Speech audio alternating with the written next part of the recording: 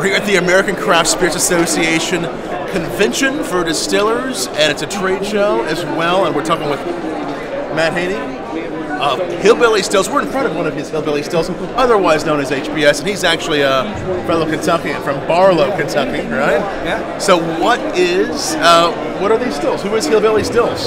So Hillbilly Stills was founded by myself and my father in 2011, and uh, we started out building uh, hobby stills for the average consumer.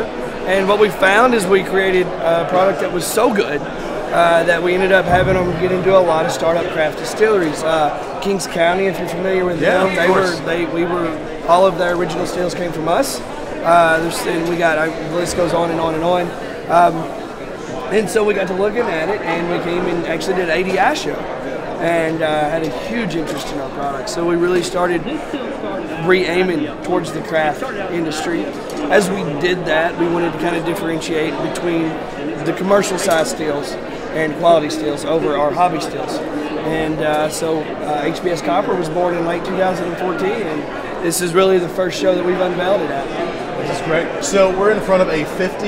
This is a 50 gallon all copper. Okay. This was all built by hand in Barlow, um, uh, everything's TIG welded now. In these, this is still this is actually our top end hobby still, but it functions again. You know, like like I previously mentioned, it functions so well. Uh, there's a lot of craft distilleries that run them, and it's a really good size fit for this size cup.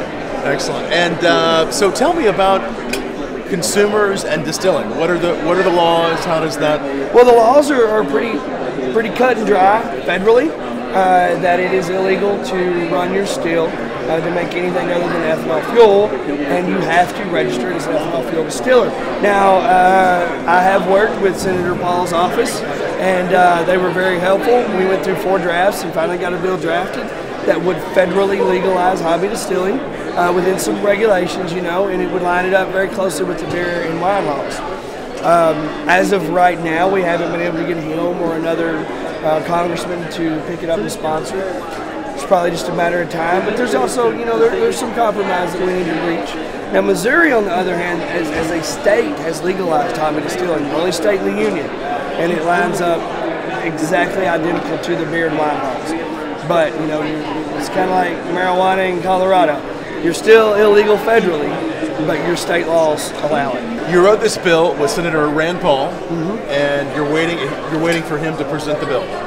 No, he's he's? He's this this this Congress. He's not going to present the bill. Okay. Um, you know, he's he's uh, uh, there's some there's some some hurdles that we need to cross, and Right. there's some concerns that he has, and we're trying to address them.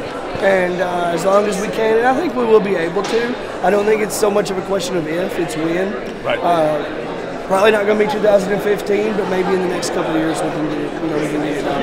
and Mitch McConnell has. Uh, Again, same same deal. Mitch McConnell was very interested in it. Uh, Representative Ed Whitfield were all interested in it, but they all had some concerns, and I and I, and I think they were very reasonable concerns. And uh, it's just a matter of, of meeting them, and you know, and then your other congressmen uh, from other states. You know, each state has its own concerns. Uh, once we can. Uh, meet those concerns and, you can find compromises between everybody, then I think we'll good. that's awesome. Well, good luck to you with that. Thank you. And uh, keep on making some great stills. We'll be watching for uh, more great uh, news from you. We should say Hillbilly Stills complies and has a really great relationship with the TTB. Yeah, you so guys the- do everything. Yeah, we do very- everything in line with the TTB. Uh, they they uh, they've been to our facility, visited us. Uh, we asked them what they wanted us to do, and they, they really liked everything we were doing. So, um, you know, if you're going to buy one, you know, you need to look into that permit and uh, make sure you're doing everything within the law.